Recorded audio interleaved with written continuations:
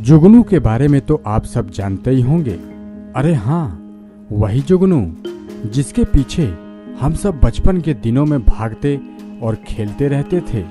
लेकिन उस समय हमने ये कभी नहीं सोचा होगा कि आखिर जुगनू चमकते क्यों हैं। जी हाँ हम सभी लोगों को पता है कि रात के अंधेरे में हम लोग गर्मियों में देखते हैं कि कोई एक छोटा सा कीड़ा चमक रहा होता है। जिसका नाम है जुगनू।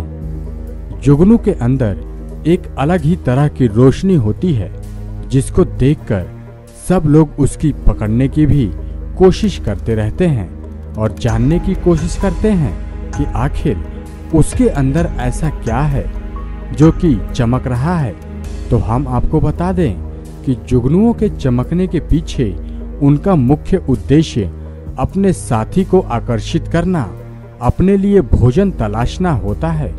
ये जुगनू आजकल शहरों में कम ही दिखाई देते हैं, जबकि इन्हें ग्रामीण इलाकों में बड़ी संख्या में देखा जा सकता है।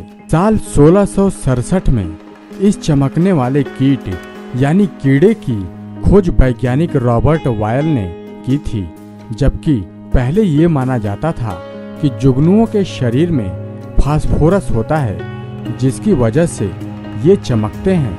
लेकिन इटली के वैज्ञानिकों ने साबित किया कि जुगनू की चमक फास्फोरस से नहीं, बल्कि ल्यूसीफेरस नाम के प्रोटीनों के कारण होता है।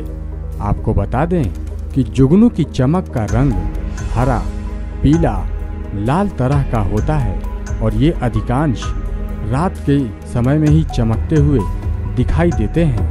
देखने में ये एकदम पतले और दो पंख वाले होते हैं। अधिक रोशनी से चमकने वाले जुगनू अधिकांश वेस्ट इंडीज और दक्षिणी अमेरिका में पाए जाते हैं।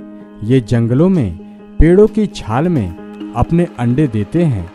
आपको बता दें कि मादा जुगनू के पंख नहीं होते हैं, इसलिए वो एक ही चमकते हैं, जबकि नर जुगनू उड़ते हुए चमकते रहते हैं और यही कारण है जिससे उन्हें आसानी से पहचाना जा सकता है। नेक्स्ट नाइन स्पिरिचुअल की रिपोर्ट